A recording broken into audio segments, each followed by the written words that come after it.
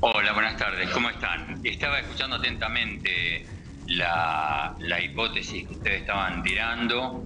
Por supuesto, las palabras no, no me van a alcanzar para explicar este ecocidio que estamos viviendo aquí en el norte del Valle de Purilla. Esto viene de hace muchos meses, no sé si me están recibiendo bien ustedes. Perfecto, Perdón. perfecto, impecable. Hay muchos problemas con las señales. Nosotros este, desde hace muchos meses que venimos con una sequía considerable, muy profunda, que está haciendo que estemos absolutamente alertas. Tenemos la experiencia del 2020, yo vivo en Quebrada de Luna, en una zona muy árida también, está muy seco todo. Y bueno, esto viene, se viene remarcando hace mucho, que estamos en alerta roja, que, perdón, hay que tomar precaución, hay mucho humo, por eso me cuesta eh, respirar. Eh, realmente lo que ha sucedido en estos tiempos es, yo estaba escuchándote lo que vos decías recién, es inexplicable. Inexplicable cómo no se pudo contener, los vientos rotaron, es cierto, hay muchos voluntarios trabajando en consecuencia, gente del lugar, eh, pero bueno, ojalá que la semana que viene, cuando se calmen los ánimos, porque tenemos una, realmente un ecocidio, ca- casas que se perdieron, la cantidad de hectáreas que se han quemado, la depredación de la flora y la fauna. Y eh, con lo que vos decías del, del terreno árido, muchas veces aquí en nuestras zonas, eh, años anteriores, la gente quemaba porque decía que así surgía el pasto fresco para las cabras, algunos lugares donde tienen vacas. Sí. No todos los lugares son taranos. Entonces, viste, no sabes a qué atenerte. Ahora están circulando muchas cuestiones que tienen que ver con eh, videos, supuestos este, bidones de nafta. Esto ocurre siempre. Todos los Por años. experiencia propia Y voy, decime algo, todos- vos, ¿a- ¿dónde estás ahora de exactamente? en- ¿Vos dónde estás exactamente ahora? Yo estoy en el centro de Capilla, en el centro, ¿En el centro de...? centro de la techada. Estoy en, en- de la techada capillense. Sabés La- que tenemos la única calle techada de eso. ¿Y a cuánto estás de Capilla del Monte Centro? O de los alrededores, No, estoy en el, yo estoy en el centro Estás. ahora, en el centro de Capilla. ¿Vos podés ver, salir entrar de la, vos podés salir entrar de la ciudad sin problemas? Sí, sí, acá sí. Lo que no se puede decir para, para el sur, o sea, para la zona de Dolores, San Esteban. Estamos a unos Ok. 8 o 10 Sí, kilómetros. ya vimos el mapa recién. O sea, vos podrías, no podrías ir para la, para la cumbre. No, en este momento no. Por, Claro, por esa imagen para entender, ¿no? El mapa. sí, bien. O sea, vos no podés Claro. salir de la ciudad de Capilla del Monte por el sur, sí por el norte. Por el norte sí hay que dar toda una vuelta inmensa. Pero todas estas imágenes, bueno, ahora se Bueno, ha perdón, modificado. no es menor en el tema de que hay una, de ciudad, acá, hay una hay una humanidad. salida cerrada, ¿no? ¿No? No.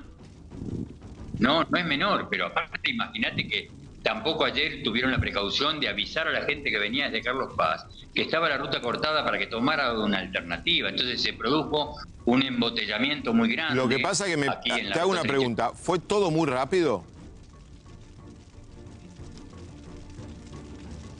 Eh, esto se controló eh, ayer a la mañana, eh, o anteayer a la mañana, perdón, pero me, me perdí con el tiempo, cuando el incendio empezó en Dolores, en un lugar que se llama Corral de Piedras, y a las estuvo todo, toda la gente trabajando de la municipalidad, bomberos, y a las 6 de la mañana aproximadamente estaba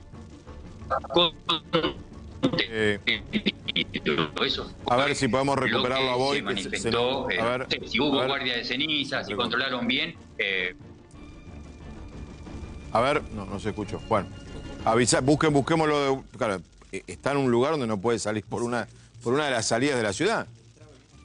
Que le entraba el humo por la ventana hablando con nosotros. ¿Se entendió? Le entraba el humo por la ventana mientras hablaba con nosotros en el centro de Capilla del Monte. Nos vamos como Belén Bianchi, que ha estado todo el día trabajando. Belén, otra vez, ¿cómo estás? Hola Fabián, ¿qué tal? Bueno, estamos trabajando en la zona de Capilla del Monte, donde el fuego arrasó en este caso, por ejemplo, acá, mira, a, una distancia medianamente corta del Cerro Uritorco con tres casas. Fue arrasada en horas de la madrugada, entre las 2 y las 4 de la madrugada, Fabián, y estamos con uno de los vecinos, Keco, que vivió esta lamentable imagen y que en este momento está viviendo también una situación eh, terrible, Fabián, porque se reactivó un foco, lo tenemos precisamente atrás nuestro, y, y claro, Keco está bastante preocupado también por esta situación. ¿Cómo viviste esta, situ- esta situación anoche? Bueno, mira, fue la verdad, esto empezó en realidad a las 5, a la 1 de la mañana, que se prendió fuego en Dolores. El Dolores es el pueblo que está acá cerca. A las cinco y media, cinco y media se apagó. Y luego a las una, dos, tres de la tarde se volvió a, re- a reavivar. Si querés mirar, la ruta está allá, Dolores está allá, digamos, para una perspectiva. Se fue todo por atrás, subió hasta allá, que hay un vía crucis, ah, del otro lado es un lugar que se llama Agua de los Palos, después empezó a subir acá, este cerro son las gemelas, se prendió fuego todas las gemelas, después empezó a bajar y arrasó con todo, se fue por abajo, por atrás de aquel cerro para el lado del Uritorco, el Uritorco lo tenés a tu izquierda, y, este, y arrasó con todo y quemó todo. Ayer fue una noche espantosa, terrible, terrible. Eh, eh, Fabián, te escucha Keco y si les parece ¿cómo te vamos va? con Keco hasta, Sí, sí, sí. hasta la vereda enfrente para que puedan ver justamente las casas quemadas. ¿Nos acompañás, Keco? Así podemos eh, ver las casas mientras vos hablas con, con Fabián. Te escucha, Fabi. Keiko, ¿cómo te va? Bueno, ¿cómo te Fabián, va? ¿Cómo Sentí te que va? estabas hablando Sí. con, con Boy Brusone, que también es amigo nuestro. Sí, sí, estaba en el centro Acá de es un Capilla. lugar muy pequeño, nos conocemos todos. Te, te este- pregunto, Keiko, a ver, Y bueno, no, fue, fue terrible. Conozco la zona por tener familiares más al sur y por haber estado de vacaciones muchas veces en, en. Capilla y, y en Cruz Grande y en La Cumbre.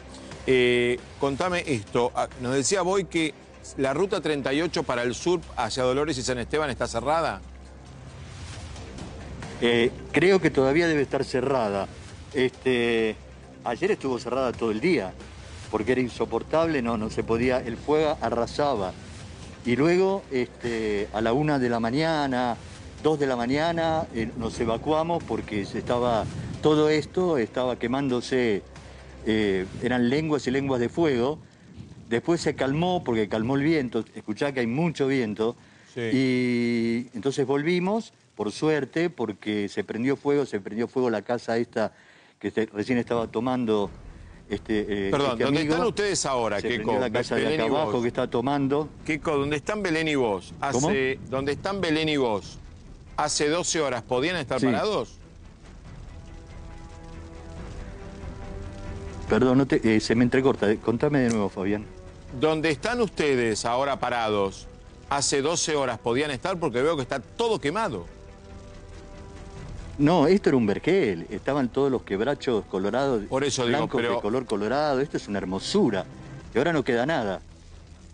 Pero por, por eso te pregunto, Keiko, hace 12 horas, 14 horas, 10 horas, ustedes ahí no podían estar parados porque no veo que no quedó nada. Ah, no, no, vos estás hablando del fuego, no, Claro, del obviamente fuego que no. hablo. Estábamos acá con los bomberos, los brigadistas, este, tirando eh, agua. Eh, mi casa es la que está acá enfrente, donde está, bueno, tirando agua a, la- a las ventanas, tirando agua a las paredes para que no cruzara la calle esta el fuego, que por suerte no cruzó. Eh, en un momento dado fue un torbellino de ceniza, yo no la veía a mi esposa, ella a mí. Este, los ojos no, no, insoportable porque no veíamos nada. La tierra- Y bueno, y la- por eso estamos con barbijo, anteojos. ¿La tierra donde están ustedes alrededor está caliente?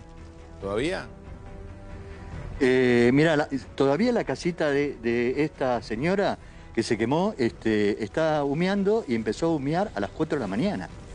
Y- Sí, vimos brasas también Por incluso. eso, ¿entendés? Entonces es una cosa de locos. Y ahora, Fabián, atrás del cerro, que recién eh, lo mostraron, este, se está prendiendo de nuevo.